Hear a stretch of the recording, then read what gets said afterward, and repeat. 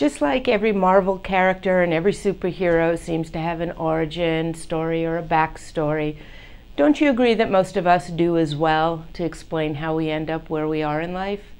So in this video, the patient asked me how I got involved in podiatry, and, and, I usually have a couple different ways that I answer that question. If somebody asks me, ew, why would you ever want to work with feet? Then my answer is always, I don't know, I asked my proctologist friend the same question. If they ask because they really want to know, then the story that you'll hear in the video today is, the, is my story. And if you've been watching for a few years, you've heard me tell it before and probably in the same exact words. But I would like to give a shout out to Dr. Rich Foster, who was my very first mentor in Hackensack, New Jersey, and uh, sent away for the application without asking me, I might add, and uh, set me on the path to a profession that I have loved for 30 years. So thank you, Dr. Foster, and uh, I hope that you enjoy today's video.